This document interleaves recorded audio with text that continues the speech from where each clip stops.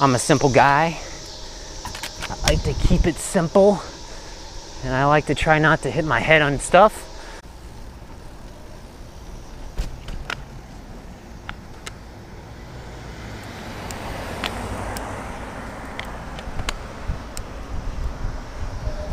Hey there, bike blogger here.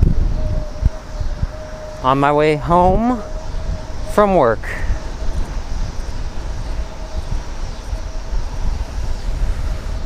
Tonight I wanted to talk about my computer. Computer says I'm going 20.2 miles per hour right now. Puh, bug. Uh, not exactly sure which way I want to go today. Um, okay. My bike computer is a Sigma BC509. Very simple bike computer. It uh, just does speed, trip distance. It has an odometer, which by the way, you lose your odometer stats if you uh, I didn't really want to go this way now, I'm just thinking about this. But uh, yeah, you lose your odometer stats if you take the battery out. So don't take the battery out. Um, that's really the only negative. It has, uh, I say, I said speed. Um, watching for traffic here. It has speed. Uh, well, let's look at it here. Speed, uh, total time spent riding, riding time. It has an odometer, like I said, and it's got a clock. So right now it's telling me it's 7.30 p.m. And I have ridden 20 miles so far today. Uh, total ride time of one hour, 25 minutes. Um, so you can figure out average speed from that, but odometer and, oh, okay, I gotta cover the brakes here. All right, I've been here before. Uh, I can't really get on the can't really get on the thing here to make it change. I gotta back up so I can't really see it because uh, you gotta put your tire on one of these uh, magnetic strips in the ground and uh, another good spot to hit it is up there in front of the white line, the solid white line. Uh, but I can't see the signal. I can't see the the traffic signal. It's like red now. And it'll turn green when I can go here. Green means go. Um, so yeah, I really like this computer, the Sigma BC509. Unfortunately, it's been discontinued. However, there is a new version, the 5.12, I think.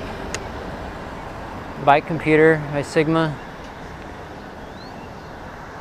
Could almost treat this this section of road like a like a yield. Because I mean that bicyclist just made a U-turn. He's probably going to the Greenway trail which is where I'm going. Or maybe he's going to work or maybe he's gonna go buy something. So any minute now. So I really like this computer. It cost me like I don't know 17 bucks. Less than 20 bucks very simple. Like I said, it's a wired computer. So it, uh, it, it mounts uh, on my fork. The wire goes down from the mounting dock on the stem here. And it, uh, it's really easy to install. Sigma has a really good installation video on it.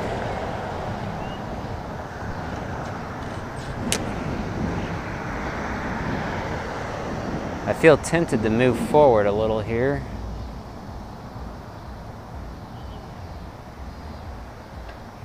Why this thing is not changing for me.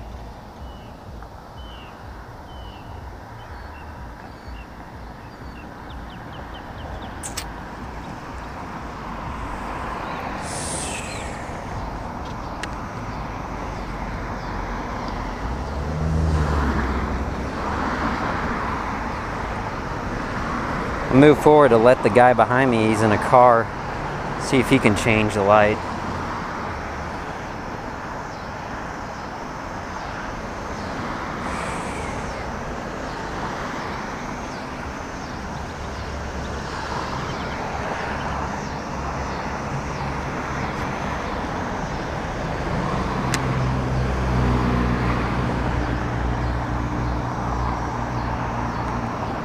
Now this has got to be the longest light I've ever waited at. Let's see, like I said, I have a little clock here. I'll give it another minute. Oh wait, there we go. Here we go. All right, I think uh, I think that light just was not detecting my bicycle, so I have to remember that because uh, I just have to remember that doesn't even work. So in the future, they just tore down a McDonald's to my left there. Ugh. In the future, I gotta remember that. So I'm just gonna probably, uh, probably just go through that red light in the future. Bad light, bad light. Bad traffic engineers, bad traffic engineers. Why didn't that light change for me? oh yeah, last time I was down here, I uh, I went through a flooded out zone and uh, got really wet. Hopefully, uh, flood has subsided. I'm not going to ride my road bike through a deep puddle of water. So if there's water down there, I'm gonna if there's deep water down there still, I'm gonna turn around. Wow, that light was forever. What the hell? oh man. The rule is that uh, if it doesn't change for you after like a two minutes or 120 seconds, you have the you don't have the right of way, but you can treat it as a stop sign and go when it's clear. And I might have waited just about two minutes, maybe maybe more. I don't know. Does feel like an eternity though. I think after about two minutes though, a, a car pulled or a truck pulled up behind me. So I figured, oh, well, he'll be able to change it for me. Uh, and I, I think he was trying to give me space or something.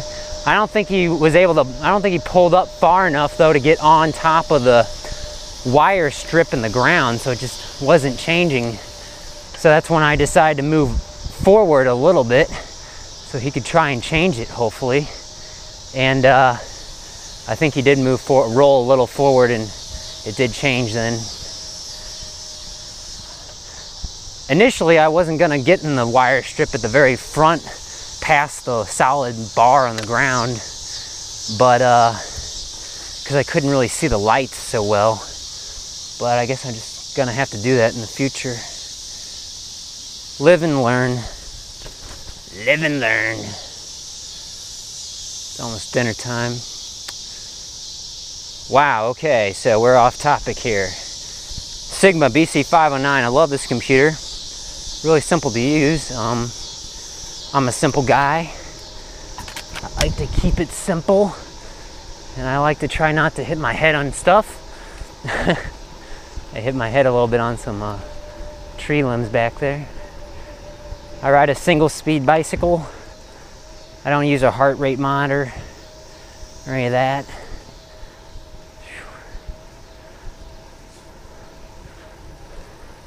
Hey there. Hi. Go left. I uh, I don't have any way of measuring like my cadence. I don't. Uh, uh, what else? I'm gonna go up further north here or further south actually. I think I'm going south. Um, I don't have any way to measure my power output in watts. I don't use a power meter. I don't use a cadence meter. I just ride a single speed bike. You can sort of figure that stuff out anyway. Basically, it's a linear function almost, I think. You know, how hard I'm working versus how fast I'm spinning versus, you know, how fast I'm going. For instance, right now, ugh, I'm going 13.8 miles per hour. I'm going pretty slow. For me, at least. Taking it easy here. Heart rate is a little difficult though, because uh, that isn't a linear function really. That does sort of bounce around. Um, But, you know, it's not a big deal to me. I don't really care. I sort of just let my body tell me when I've had enough. It's hard though, because some things may not be perfectly balanced with other things, like you may have strong leg muscles, sort of like me, but you know, I also have pretty good lungs. And if I were to say which would wear out first if I went on a long, a long ride, I'd probably say my legs would wear out first before my lungs. Um, but if you're going on a long ride, you want to stop occasionally and stretch anyway. So I could probably ride for a really long time, but I'd have to get off and stretch like anybody else. Sort of quiet right now. Uh, I didn't know which way I wanted to go. We're gonna get on the big road. Here we go. Speeding it up a little down the curve.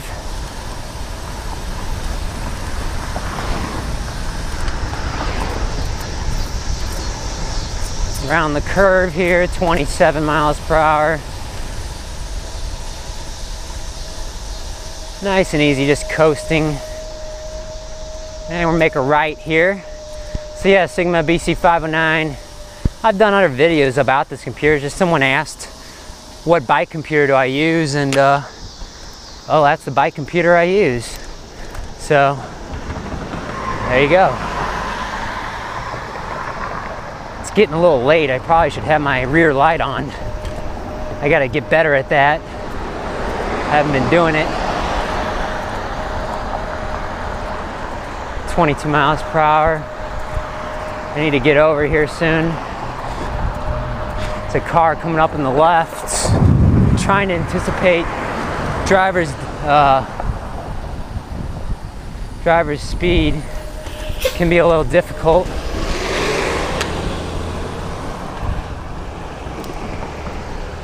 All right. Woo! All right. That was a little scary back there. I was hidden behind a bus because uh, the bus has to stop at a railroad track. It was sort of a sort of a special circumstance. Yeah, you're not really supposed to drive or ride in a turning lane like that. I don't even know if they got turning lanes in in Europe, but they have them all over the place in the U.S. And yeah, you're really only supposed to get in the lane to turn, not to ride in. Uh, so yeah, it can be dangerous, but that was a extreme circumstance there because I was just the worst timing. The the bus was uh, make a right. Climb. The bus was uh, just stopping there in front of the railroad tracks because it's a law or whatever. And uh, 16 miles per hour, going up a steeper grade, down to 13 miles per hour. And uh, now it flattens out. And um, I was worried because the guy on my left, it was like a pickup truck. He didn't have a he didn't have a signal on, and as it turns out, he was just making a right, so he wasn't gonna conflict with me. And uh, make a left here when it's safe. But I was a little scared because I was hidden behind that bus. There we go. And uh, I was really worried, you know, was he gonna come out? And it was hard to keep focus on other traffic. So, make a right here. Oh boy. What is that? What's going on over there? I'm not looking with the camera caught whatever was going on over there. Maybe one maybe somebody ate one too many hot dogs. Shouldn't make a joke about something like that.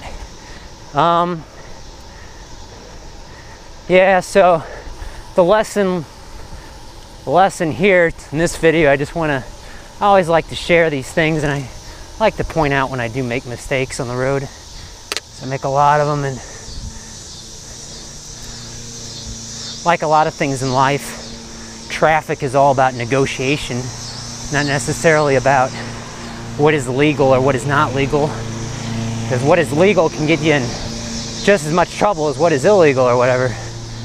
So the lesson here is just take your time and we'll see you next time. Over the train tracks. and Always cross train tracks at a perpendicular angle.